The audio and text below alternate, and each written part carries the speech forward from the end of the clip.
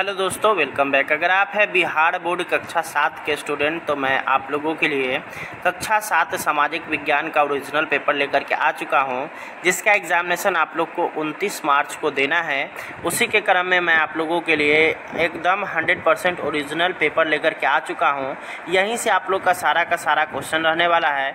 इससे पहले भी मैंने बहुत सारा वीडियो अपलोड कर रखा है। अगर आप लोगों ने वह वीडियो देख रखा होगा और आप लोग एग्ज़ाम देने गए होंगे तो उसमें से आप लोग के एग्ज़ामिनेशन में क्वेश्चंस रहे होंगे। और तो उसी तरह से आप लोग को इस एग्ज़ामिनेशन में भी सारा का सारा सवाल मिलने वाला है। तो चलिए अब हम लोग चलते हैं हंड्रेड परसेंट ओरिजिनल क्वेश्चन की ओर। उससे पहले अगर आप लोग चैनल पर नए होंगे तो चैनल को ज़रूर सब्सक्राइब कर देंगे। साथ ही साथ अगर आप लोग अभी तक वीडियो को लाइक नहीं किए तो वीडियो को एक लाइक ज़रूर कर देंगे। और इस वीडियो को ज़्यादा से ज़्यादा शेयर करेंगे ताकि अन्य बच्चों को भी इसके विषय में जानकारी मिले और वो भी अपना एग्ज़ामिनेशन सही ढंग से दे करके आ पाएँ। तो चलिए अब हम लोग आगे बढ़ते हैं और आप लोग को क्वेश्चन आंसर दिखाते हैं। इसका जो आप लोग के एग्ज़ामिनेशन में आने वाला है। तो यहाँ पे आप लोग जब एग्जामिनेशन देने जाइएगा तो इसी तरह का आप लोग को क्वेश्चन मिलेगा, जिसमें आप लोग को सबसे ऊपर में वार्षिक मूल्यांकन 2024 लिखा हुआ मिलेगा। कक्षा सात और यहाँ पे आप लोग का विषय है सामाजिक विज्ञान, समय है दो घंटा। पूर्णांक यहाँ पे अगर बात करिएगा तो पचास यहाँ पे लिखा हुआ आप लोग को मिलने वाला है। अब यहाँ पे अगर बात करिएगा कि कौन कौन सी चीज़ें आप लोग को वहाँ पे भरना है तो सबसे पहले आप लोग को अपना यहाँ पे नाम भरना है। यहाँ पे आप लोग को अपना रोल नंबर और यहाँ पे आप लोग को अपने स्कूल का नाम और यहाँ पे आप लोग को अपने प्रखंड का नाम भर लेना है। संकुल का नाम आप लोग को यहाँ भरना है और ज़िला का नाम आप लोग को यहाँ पे भर लेना है। तो ये सारा प्रक्रिया आप लोग को कर लेना है। अब यहाँ पे बात आती है कि कौन कौन चीज़ें आप लोग को नहीं भरना है तो भिक्षक का हस्ताक्षर हो गया मूल्यांकनकर्ता का हस्ताक्षर हो गया और प्राप्तांक हो गया। इन तीनों चीज़ों को आप लोग को नहीं छूना है। इसमें आप लोग के जो वर्ग शिक्षक होंगे जो या फिर आपके जो कॉपी चेक करेंगे, वो आप लोग के वो उस, इसमें भरेंगे। तो अब हम लोग क्वेश्चन की ओर आते हैं। यहाँ पे आप लोग के लिए यहाँ पे क्वेश्चन आ चुका है।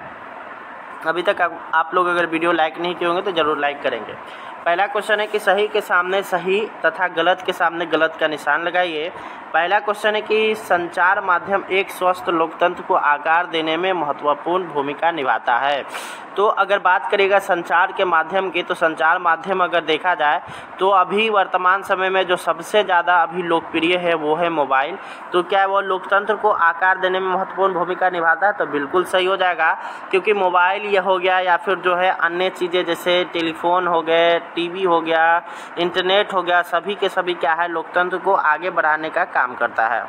अगला सवाल आता है कि थोक बाज़ार से उपभोक्ता, ग्राहक सीधे सामान खरीदता है तो थोक व्यापारी से ग्राहक जो होते हैं, वो सीधे सीधे सामान नहीं खरीदते हैं, बल्कि उनको जो है खुदरा व्यापारी से ख़रीदना पड़ता है तो इसलिए इसका हो जाएगा इसमें गलत। उसके बाद आप लोग का है कि अकबरनामा बिरबल ने लिखा है तो बिल्कुल इसका गलत आंसर हो जाएगा, क्योंकि अकबरनामा का जो रचना है, वो बिरबल के द्वारा नहीं किया गया था। अगला सवाल आता है कि सांकेतिक मुद्रा का प्रचलन मोहम्मद बिन तुगलक ने शुरू किया था तो ये बिल्कुल सही। मोहम्मद बिन तुगलक के समय ही भारत में सांकेतिक मुद्रा का प्रचलन शुरू हो गया था। आगे हम लोग देखेंगे तो रिक्त स्थानों की पूर्ति करिए। पहला क्या है? क्वेश्चन नंबर क कि महात्मा गांधी ने दक्षिण अफ्रीका में उसकी खाली स्थान है के विरुद्ध संघर्ष किया। रंगभेद है और छुआछूत है। तो यहाँ पे याद रखिएगा कि कभी भी दक्षिण अफ्रीका की आंदोलन की बात आवे तो वहाँ पे ज़्यादातर आंदोलन जितना भी आंदोलन है लगभग लगभग जो है वो रंग भेद से संबंधित है। इसलिए इसका आप, आपका जो ये हो जाएगा आंसर वो होगा आपका रंग भेद यानी कि पहला जो महात्मा गांधी जो दक्षिण अफ्रीका गए थे वहाँ पर जो उनके द्वारा संघर्ष किया गया था वो रंग भेद के खिलाफ शुरू किया गया था। अगला सवाल आता है कि सिस्मोग्राफ से खाली स्थान की तीव्रता मापते हैं। तो आप लोग को पता ही होगा कि सिस्मोग्राफ जो होता है वो भूकंप के मापने मापने में आ, सहायक होता है। इसके द्वारा पृथ्वी के जो प्लेट होते हैं उनके गति का जो है यहाँ पर उसको मापने का काम किया जाता है जिससे कि पता चल जाता है कि कितने रिएक्टर स्केल में अगर देखा जाए तो कितनी तीव्रता के साथ भूकंप आया है उसकी जानकारी सिस्मोग्राफ के द्वारा हम लोग को पता चलता है। अगला सवाल है कि भरोच का विकास उसके बाद खाली स्थान नगर के रूप में हुआ है।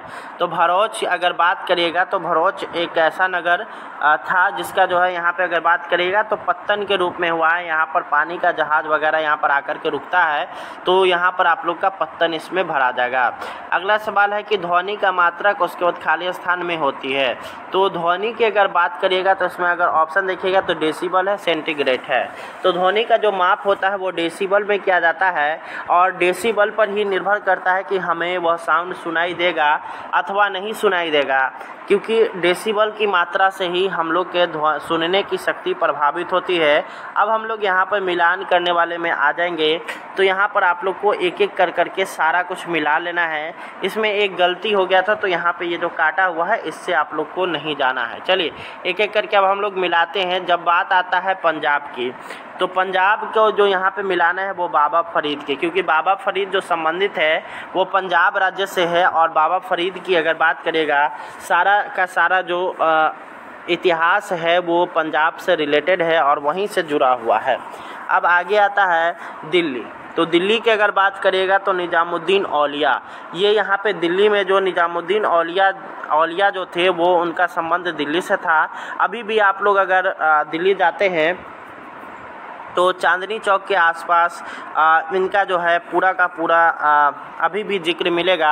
आगे हम लोग देखेंगे तो बरौनी। बरौनी बिहार में है और बिहार में अगर देखेगा तो बिहार में तेल शोधक कारखाना कहाँ है जो सबसे पुराना है तो वो बरौनी हो जाएगा। तो यहाँ पे बरौनी जो है वो तेल शोधक कारखाना से रिलेटेड है तो इसलिए ये तेल शोधक कारखाना में इसको मिला लिया जाएगा। अब यहाँ पे पूर्णिया की अगर बात करेगा तो पूर्णिया में जूट का उत्पादन होता है और साथ ही साथ वहाँ पर एक जूट मिल भी है तो जिस कारण से पूर्णिया का यहाँ पे जो सही मिलान होगा, वो जूट से हो जाएगा। आगे अब हम लोग बढ़ेंगे तो यहाँ पर अगला सवाल आता है कि किन्हीं चार प्रश्नों का उत्तर दीजिए। क नंबर में आप लोग को देखना है, क नंबर में क्या कहता है कि लद्दाख में कम वनस्पति और कम जनसंख्या क्यों है? तो इसका आंसर क्या हो जाए कि लद्दाख एक ठंडा रेगिस्तान है और अधिकांश क्षेत्र किसी भी वनस्पति से रहित है। तापमान अक्सर चरम सीमा तक पहुँच जाता है और यहाँ रहना आसान नहीं होता है। तो इसीलिए क्या होता है कि लद्दाख में वनस्पति और जनसंख्या दोनों ही कम पाया जाता है, क्योंकि जब वहाँ पे भोजन की यहाँ पे उपलब्धता ही नहीं रहेगा, साथ ही साथ लोगों का रहना वहाँ पे सुरक्षित ही नहीं रहेगा तो इसलिए वहाँ पे जनसंख्या कम पाया जाता है। अगला है कि विज्ञापन को बार बार प्रसारित क्यों किया जाता है? तो विज्ञापन की अगर बात करेगा तो आप लोगों ने भी टी पे, मोबाइल पर आप लोग देखे होंगे, ऐड चलता रहता है तो उसी को विज्ञापन कहा जाता है। तो विज्ञापन का बार बार प्रसारित करने से उस विषय उस वस्तु के विषय में जानकारी देना ताकि उसके, उससे संबंधित लोगों के अच्छे भाव आए और वो सामान को खरीदे। अगला यहाँ पर आता है कि पॉलीथीन बैग के क्या क्या विकल्प हो सकते हैं। तो यहाँ पे हम लोगों ने दो लिखा है, जूट का बैग और कपड़ा का बैग, क्योंकि ये दोनों को अगर आप लोग अगर मिट्टी में डाल देते हैं तो वो जब वो सड़ जाएगा, ठीक है? आगे अब हम लोग देखेंगे तो थोक एवं खुदरा व्यापारी में अंतर लिखें। तो थोक व्यापारी इसके पास सामान अधिक मात्रा में रहता है तथा खुदरा तथा यह खुदरा व्यापारी को सामान बेचता है। खुदरा व्यापारी तो इससे ग्राहक सामान खरीदते हैं। तो ये आप लोग का ये हो गया। उसके बाद अगला यहाँ पर है कि पानीपत की प्रथम लड़ाई किन के बीच और कब हुई थी? तो पानीपत की प्रथम लड़ाई की अगर बात करिएगा तो बाबर और बाबर और, और इब्राहिम लोदी के बीच 21 अप्रैल 1526 में लड़ा गया था। आगे आप लोग का आता है कि किन्हीं एक प्रश्न का उत्तर दीजिए।